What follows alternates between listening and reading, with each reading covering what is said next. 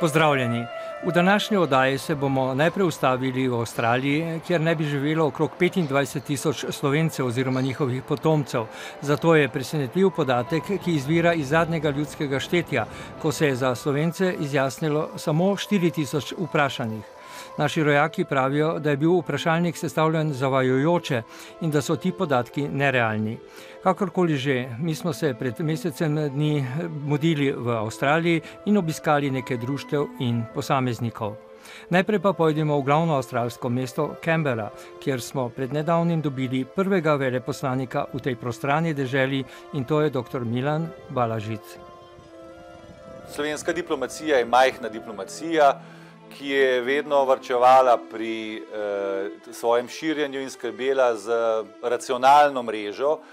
In v tem smislu se mi zdi, da je Avstralija bila nekoliko mala žrtev vsega tega, eh, vendar pa smo vendar, ocenili pred leti, da eh, Avstralija pridobiva na svoji teži s svojim izjemnim gospodarskim uspehom, težo v pacifiškem prostoru, In uh, seveda tudi veliko slovensko skupnosti v Avstraliji, tako da so bili to argumenti, da uh, pošljemo prvič uh, veleposlanika Republike Slovenije v Canberra.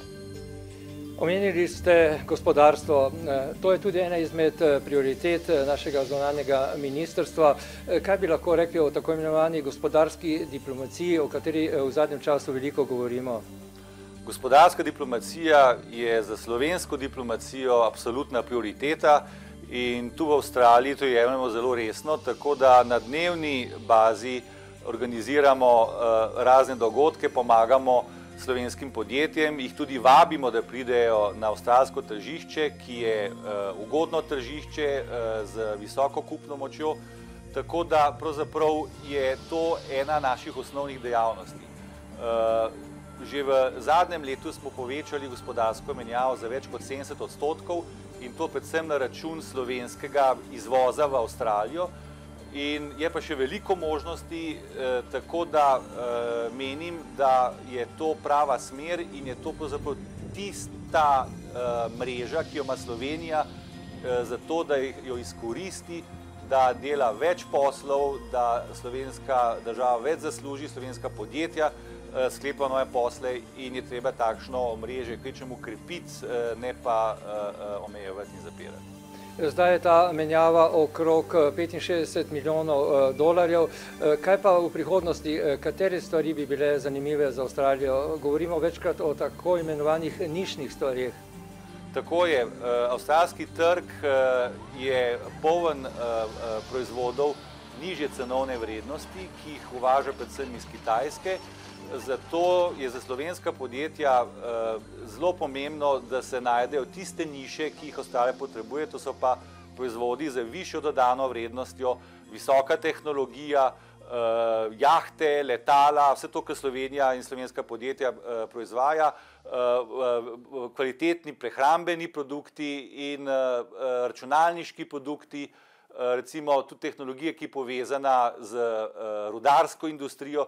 Vse to so, bi rekel, niše, ki uh, jih lahko slovenska industrija izkoristi in lahko zasluži zelo veliko, ker je Avstralija dober plačnik in je to velik trg, ki se ga da zelo dobro obvladati. Omenili ste letalstvo, prej v nevezenem pogovoru ste omenili tudi ta zanimiva letala Pipistrela. Je tukaj možnosti? Absolutno.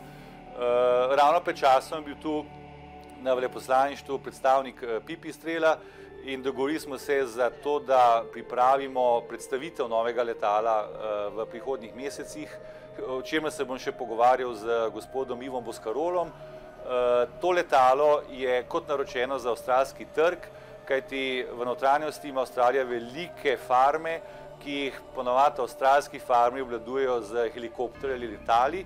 In takšen uh, letalski proizvod, kot je Pantera, je dovolj velik uh, in primeren za avstralski trg.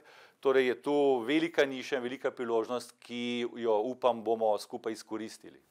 Ena izmed eh, vaših dejavnosti je eh, tudi sodelovanje s slovenskimi društvi tukaj v Avstraliji. Eh, obiskali smo jih kar nekaj v različnih mestih in ugotovili smo, da obstaja nekakšen dvom. Tukaj so velike zgradbe, ljudje so, ki vodijo ta društva, nekateri ostareli že, prihajajo mladi in ni pravega sodelovanja. Kaj pravite? Res je, v Avstraliji je 15 slovenskih društev, eh, pravzaprav razporejenih po celotnem ozemlju Avstralije, čeprav je največja koncentracija slovencev v dveh glavnih mestih, v Sydneyju in Melbourneu. In eh, razmere so glede od kluba do kluba eh, različne.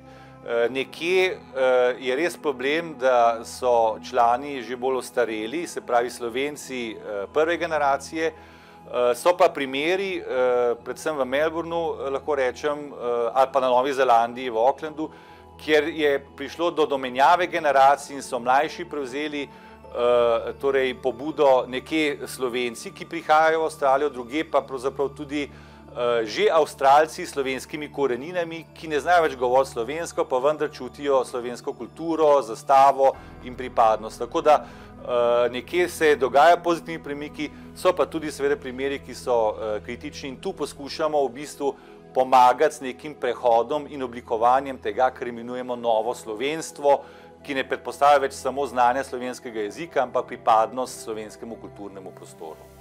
Eh, ko smo bili v, pred leti eh, v Kanadi, v Združenih državah Amerike, pa tudi v Argentini, smo ugotovili, da vse eh, več eh, mladih tretje generacije išče svoje korenine in rad bi imeli potne liste, državljanstvo in tako naprej. Je tudi tukaj ta trend prisoten?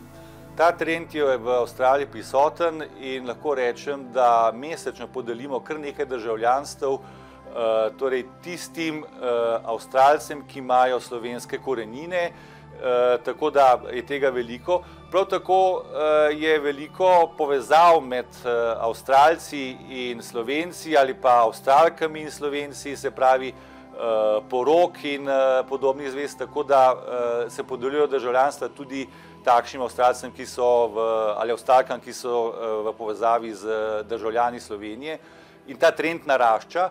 Eh, tudi zato, ker eh, slovenski potni list je tu cenjen in uh, poleg tega, da je to tudi evropski potni list, nudi lažji vstop v šengensko območje. Je pa res, da seveda Slovenija tu v Avstraliji ima svojo ceno in je spoštovana evropska država. Še nekaj je zanimivo v zadnjem času, ko je v Sloveniji, pa ne samo v Sloveniji, tudi v Evropi prisotna uh, kriza, namreč da vse več ljudi, predvsem mladih, odhaja uh, down under, kot tudi pravite. Uh, je tukaj uh, prisotno to, da prihajajo mladi izobraženi Slovenci vsem iskati delo? Je prisotno. Ne v velikem številu, številka, ki smo jo dobili in je uradna, je tam nekje od 120 do 150 ljudi, letno iz Slovenije, ki se za stalno preselijo v Avstralijo. Eh, ta številka je sicer mehna v primerjavi s tem, da eh, v Avstralijo letno eh, pride okrog 185 tisoč ljudi, ki za stalno ostanejo v Avstraliji, vendar je pa za Slovenijo, ki je majhna, številka kar pomembna, kajti gre predvsem za kvaliteto. V Avstralijo iz Slovenije odhajajo predvsem zelo usposobljeni ljudje z znanjem, z uh, akademskimi nazivi, menedžeri in se hitro vklopijo v avstralsko družbo, tako da Slovenija ta rovaš izgublja uh, kar en del, lep del uh, svojih najboljših ljudi, v katere izobrazbo je veliko vlagala. In ti ljudje so tukaj gotovo cenjeni na pomembnih položajih. Tako je, lahko povem, da imam stike z Slovenci, ki so prišli v zadnjih letih v Avstralijo in ki so danes uh, vrhunski menedžeri v posameznih avstralskih podjetjih, uh, pridobivajo uh, pomembne položaje v akademski sferi, so profesori na avstralskih univerzah, nekje tudi že rektori univerz. In potem lahko rečem, da se sicer slovenska skupnost v Avstraliji krepi, vendar pa na račun tega, da Slovenija izgublja dobre, kvalitetne kadre. Dobro, gospod veleposlanik, eh, še veliko sreče in dobrega dela vam želim eh, v tej eh, lepi novi hiši. Tukaj ste dve leti ali koliko? Tu sem dve leti, se pravi, še dve leti je do konca mandata in ni mi žal, da sem izbral to destinacijo, ker Avstralija nudi diplomatu obilo možnosti, da se uveljavi in da pokaže na koncu tudi neke rezultate. To je bil pogovor s prvim veleposlanikom Republike Slovenije v Avstraliji, Milanom Balažicem. Iz Kambere pa smo se odpravili v Melbourne, kjer naj bi po nekaterih podatkih živelo največ naših rojakov. Predstavnik slovencev v državi Viktorija je že dolgo vrsto let Peter Mandel, ki zelo dobro pozna razmere v organizaciji, kot tudi v slovenskih klubih. Stvar v svetu slovenskih organizacij poteka kar v redu. Eh, članov ima svet 16 in to je krovna organizacija, v kateri se delujejo društva in organizacije. In s tem pomagamo združevati naše slovence, slovensko skupnost in v istem času, da združujemo naša društva in da omogočimo bi rekel, tudi z finančnega pogleda dohodke in samo vodstvo teh društv. Povejte nam, kje vse pa so ta društva poleg Melbourna? No, če pogledamo, je društvo Ivana Cankarja iz Dželonga, je Snežnik, dvomestno društvo Snežnik Olbori Vodonga, je slovensko društvo Melbourne, tukaj v Melbourneu, katero je eno najstarejše in letos bo praznovalo 59 let. Pa planica tudi? Seveda, potem imamo planico, slovensko društvo Planica v Springvalu, imamo slovensko društvo Jadran v Digersrestu in imamo tukaj dobrodelno društvo ali bi rekel organizacijo v verskem središču tukaj v Kiju. Me se zdi, da sem do zdaj imenoval vse. Torej šestih je vse skupaj, sodelujemo kar v redu in upam, da bo šlo tako naprej. Za nas je zelo važno, saj tu je edina krovna organizacija tukaj v Avstraliji, katera povezuje društva, vse društva v Viktoriji in eno izven Viktorije. In če pogledamo, je v tempu slovenska skupnost, katera šteje čez 12 tisoč slovencev, saj v Viktoriji je več kot polovico slovencev naseljeno, bi rekel, v Avstraliji. In vaši dosežki, kje ste bili najbolj delovni, dejavni? Najbolj sem bil delovni in tudi delal že od leta 1973 v slovenskem društvu Melbourne, katero je eno najstarejše. To je bil moj začetek. In potem leta 1984 smo začeli in organizirali balinarsko sekcijo Viktorije in ravno ta poteza je povezala vse slovenske društva in za Zvezo slovenskih balinarjev v državi Viktorije je sledil svet slovenskih organizacij, krovna organizacija, katera še zdaj obstoja in povezuje vse naša društva tukaj v Viktoriji. Torej šport neke vrste, kaj pa prireditve, proslave in vse drugo, kako je s tem, ali tukaj upada zanimanje? Ne, definitivno ne. Če pogledamo, mi imamo naslednje leto že štirinajsto vseslovensko, bi rekel, tabor ali ene vrste festival, na katerem zopet vse slovenske organizacije tukaj v Viktoriji sodelujejo in ob istem času dohodek tega festivala gre za dobrobit in vzdrževanje naših društev. Na tem, na, na tem delu, na slovenskih festivalov imamo zmeraj obiske iz Slovenije in se zahvalim v tem času tudi Ministrstvu za Slovence po svetu, katero finančno pomaga pri tem, da dobimo ansamble ali pevske zbore, da se delujejo z nami poleg naših zborov in drugih nastopajočih na festivalih. Zdaj imamo novo ministrico Tino Komelj, s katero sem se pogovarjal pred mesecem dni za našo oddajo Slovenci po svetu. Kako gledate na to, kajti nedavno tega so celo mislili ukiniti Ministrstvo za Slovence po svetu in v zamejstvu? No, se v tistem času, ki smo to dobili v znanje, smo vsi predstavniki Slovencev širom sveta skupno protestirali na vlado, da se to ne zgodi, kar potrebujemo in za nas je zelo važno. Če pogledamo, Se nas je pol milijona po svetu, a ne? To je kar dober del slovenstva in moramo ustrajati na tem, da čim več od teh naših rojakov postanejo tudi zopet, bi rekel, državljani naše Slovenije, naše matične domovine. Saj pred parim letom od teh pol milijona je bilo samo 50 tisoč, da so imeli slovensko državljanstvo. Tukaj v Avstraliji se naša mladina, druga in tretja generacija zdaj ogromno zanima in posprašuje po Sloveniji. Koreninah in radi bi imeli tudi potne liste, so mi rekli. Se jih imajo, vidite, če vam dam jaz en primer. Jaz imam štiri vnuke in vsi štiri vnuki so slovenski državljani, imajo potne liste in jaz sem ponosen na to. In upam, da se bojo tudi drugi pridružili in mi vplivamo to na našo mladino, da se zavedajo svoje pripadnosti in svojih korenin. Ko smo bili v Argentini, smo videli, da veliko Slovencev, predvsem mlajših, tudi otrok, govori dobro slovenščino. Kako pa je z učenjem slovenskega jezika pri vas? So tu kakšni problemi? So problemi in če pogledamo do leta tisoč devetsto osemindevetdeset, devetindevetdeset so bile šole skoraj po vseh naših društvih, osnovne šole govorim, a ne, in je bila tudi, bi rekel, srednja izobrazba tukaj na razpolago nam in je država Viktorija plačevala te stroške, samo da smo imeli mi dosti učencev. Je šlo vse v redu, potem je prišla kriza, da so gotove šole odpadle, da je bilo premalo, bi rekel, kadrov.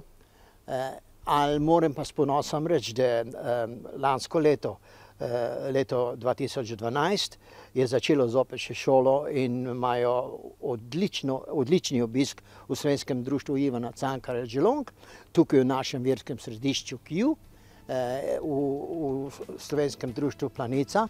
In, in sedaj bojo pa za odrasle poučevanje slovenskega jezika počeli, začeli v Slovenskem društvu Melbourne. Torej, smo imeli krizo in čas, a ne, da, da smo šli skozi, ali vidim, da novo vodstvo in nove korenine, ki so zagrabile, bi rekel, društva tukaj, ali sprejela vodstvo društva, hočem reči, v Viktoriji, da gre v pravo smer in jaz sem zelo optimističen, da nimam dvoma, dokler smo gotovi ljudje, bi rekel, naši skupnosti, ki poskušamo to zadevo usmeriti v pravo smer, da bo šlo nimam dvoma, tudi učenje, poučenje slovenskega jezika.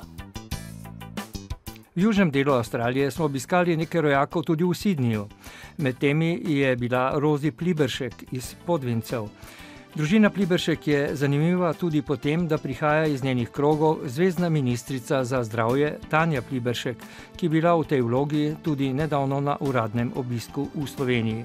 Sicer pa smo se z njeno mamo pogovarjali v naselju Oyster Bay na severozahodu Sydneyja.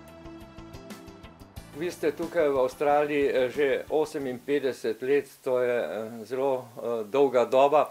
Kaj bi lahko rekli za to vaše življenje tukaj? Ste dobili tisto, kar ste pričakovali, ko ste šli iz Slovenije? še več, jaz sem lahko našim otrokom nudila dosti več, ko bi sigurno doma lahko v Sloveniji, ker so se vsi doštudirali in njihovi otroci tudi zdaj dobro delajo, ne vem, kako bi v Sloveniji to bilo, in sem zelo ponosna na njih in zadovoljna, so pridni vsi. Omenili ste otroke, mnogi v Sloveniji tudi poznajo vašo hčerko, Tanjo Pliberšek, ki je ta čas ministrica za zdravje. Kako se počuti mama tako pomembne ženske, gospe?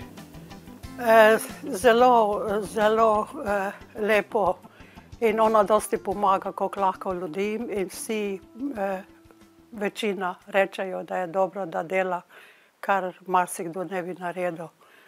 In ona tudi ima tri otroke, je to težko za njo, dosti je od doma, vsepovsod hodi okoli, ne samo v Sydneyju, ampak v Adelaidu, Melbournu, Queenslandu, vse to mora iti okrog. Tako da otroci nimajo dosti doma, kdaj jo imajo, pa vsi na zofu tam, pa vsi na njo, pa mama to, pa mama ono, vse ji mora razložiti lepo. Jaz niti ne pridem večkrat ne do besede, ne. To pomeni, da tudi vi pomagate, čez konec tedna greste tja, skrbite tudi malo za otroke. E, jaz grem vsak vikend ja, k Tanji in to je moje veselje. Posebno ti mali, ki bo stari zdaj tri leta, oktobra. In se lahko z njim pogovarjaš kot odraslim otrokom, ker ima dva starejša sestro pa brata in je zelo lepo in to mene malo pomiri tudi tako, da nisem sama tu, ker moža sem izgubila pred enim letom. Vaš sin Rajmond, včeraj smo ga srečali, tudi dobro še govori slovensko. Kako pa zdaj z vnuki, tudi kaj govorite slovensko z njima? Vnuki, ja, posebno Ana, ki je bila z mano na dopustu iz Slovenije, ona se zelo zanima, bi se rada naučila slovensko, si je kupila en slovarček pa gleda besede pa skupaj zlaga. Tako da bo počasi se naučila, ampak ona se tudi francosko uči, pa zdaj visoko šolo hodi že in to je dosti dela za njo. Zdaj pa se preselimo še med rojake v Evropo. Pretekli mesec smo tudi Slovenci, sicer očitno ne najbolj uspešno, stiskali pesti za predstavnico na pesmi Evrovizije. Evropa se je tokrat zbrala na Švedskem v Malmöju, kjer živi številčna slovenska skupnost. Društvo Planika je eno najbolj dejavnih v tem delu Evrope, saj tam deluje tudi edini slovenski zbor v Skandinaviji. Tudi Slovence skrbijo nezadovoljstvo priseljencev, zaradi katerega so izbruhnili nemiri, še bolj pa so zaskrbljeni zaradi razmer v Sloveniji, kjer pričakujejo, da bo slovenska politika stopila skupaj. Najbrž jih ni prav veliko, ki so pred letošnjim izborom pesmi Eurovizije slišali za Malmö, prijetno mesto na jugu Švedske.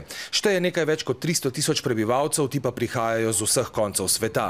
Nekakšno švedsko multikulti mesto, kjer so dom, najpogosteje v 60 letih prejšnjega stoletja, našli tudi številni Slovenci. 210, ja, smo lansko leto imeli, ja. So pač tudi pasivni člani, no, in pasivni člani, to so večina te mlade mlade družine.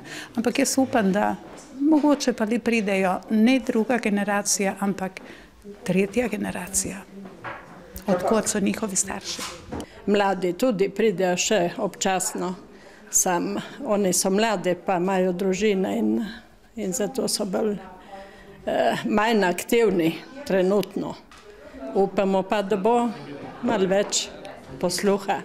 Posluha tistega glasbenega tam ne manjka, saj v Malmöju že od leta 1979 deluje zdaj edini slovenski pevski zbor v Skandinaviji.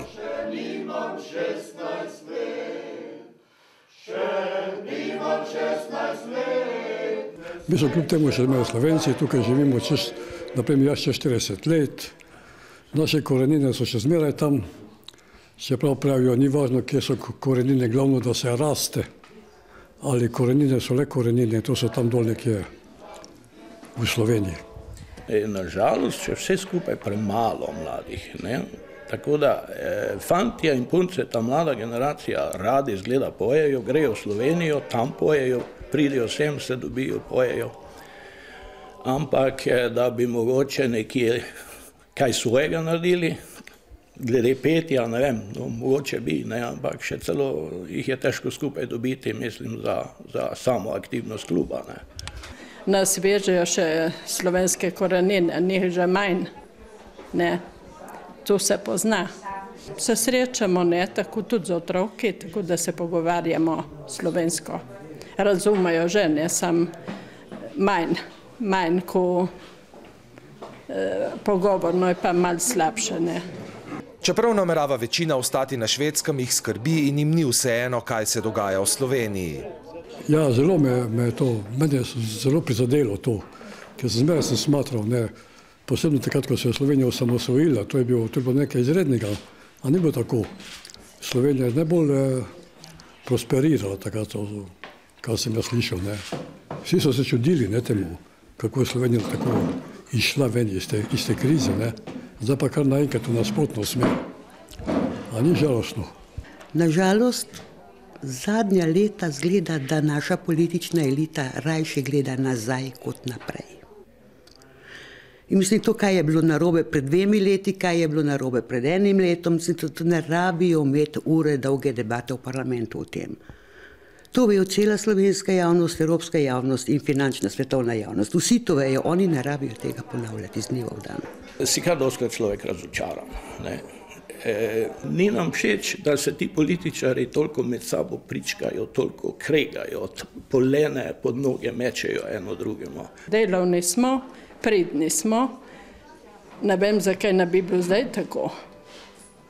E, Mal manj mogoče, če bi ljudje sebi v žepe privat stavili, bi bilo dosti boljši, ne?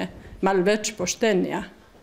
Hudo nas prizadene, če bi res tako daleč šlo, da bi mogli prositi vse te stvari in jaz upam res, da ne bo tako daleč prišlo. Zaskrbljeni pa so tudi zaradi razmer doma, nemirov med priseljenci, ki pogosto za manj iščejo službe, svoje mesto v švedski družbi. Smo mi prišli, da smo dobili takoj delo, te imigracije ni več, zdaj je sprejemanje beguncev in to ogromno. Letos je prognoza 40 tisoč beguncev iz Sirije, da bo Švedska sprejela in vsi se malo sprašujemo, kam jih bomo dali, kakšne pogoje smo jim sposobni omogočiti za normalno življenje, kakšne potrebe imajo, so bolezni, so to vojne poškodbe, so otroci, ki imajo psihične težave zaradi grozodejstev, ki so jih videli in, in to je zdaj predvsem v prišleci, so zdaj predvsem begunci. Slovenijo pravijo poznajo tudi švedi po športnikih, nekaterih podjetjih, pa tudi zaradi naravnih lepot, ki jih vedno znova očarajo. In posebej Slovenija je zelo lepa, ne? E, narava je lepa. E, to, kar se tiče politike, bolj nekje probamo pozabiti takrat, ne? ampak gledamo to, te lepote in se zahajamo skupaj z sorodniki.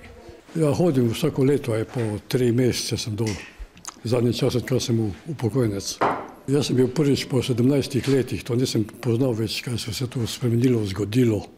Drugače kot naprimer v Nemčiji se večina Slovencev na švedskem ne bo nikoli več preselila v Slovenijo.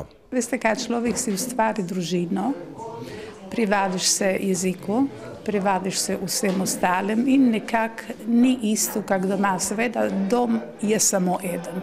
Slovenijo ne more nihče nadomestiti, čeprav se počutimo tukaj v redu. Sam je pač domovina ena. Ne, ne, ne, ne. ne. E, jaz bi se počutila prišlek, kot sem se na švedskem pred 45 leti. In za mene bi bil to prenaporen proces. V slovenskem društvu v Malmeju, ki bo v kratkem praznovalo 40 let obstoja, za misli za naslednja druženja in prireditve ne manjka. Zato bo planika v tem švedskem mestu očitno cvetela še dolgo. Za konec oddaje pa še športno-družabni dogodek povezan z našimi zdomci iz Nemčije. Že 13. so se namreč srečali predstavniki slovenskega kulturnega društva Kajuh iz Ebersbaha blizu Študgarta s prijateljskim keglaškim klubom Tomas iz Maribora. Pomirili so se na Ceršaku, vendar rezultati niso bili najpomembnejši. Važno je bilo druženje, ki je po toliko letih srečanj v Nemčiji in Sloveniji preraslo v pravo prijateljstvo. Nam je tukaj zelo lepo in smo ponosni, da smo lahko v svoji domovini. Kriza je zajela vse, ne samo nas, Slovence, tudi druge države. Mislim, da bomo z te krize šli in bo seveda veselje se ne sme pozabiti. Če človek ima veselje pa dobro voljo do življenja, pol dobena kriza ne more premagati človeka. Zahvalim se keglačom Tomas As iz Maribora, ko so nas tako lepo pričakali in seveda toplina, danes popovdne še piknik v Kungutu. To je ena toplina, ko mi Slovenci rabimo, ker smo v tujem svetu, delamo od jutra do večera, malo se družimo v klubu, imamo svoje družbene prostore in se vedno veselimo, da pridejo naši prijatelji iz Maribora v Nemčijo. E, to je vedno so novembrski meseci, ker imamo gor naše prireditve. Seveda mi pa čakamo komaj, da pride drugi praznik, zadnji praznik, to je zadnji praznik v maju, da se lahko pol napotimo v našo domovino k našim dragim prijateljem. Mi se srečujemo tako, da se družimo, ne samo, da se pogovorimo, da se veselimo, ampak tudi, kot vidite, v športu, to je kegljanje, ki že sodelujemo 11 let in bomo še naprej. Ker pa imam priliko, pa se bi tu zahvalil keglaškemu klubu Ceršak za njihov dovoljenje, da lahko keglamo na tako prijetnem in lepem keglišču, kot je tu v Ceršaku. To je bila oddaja Slovenci po svetu. V prihodnji bomo pripravili več reportaž in intervjujev srečanja v moji deželi v Ljubljani.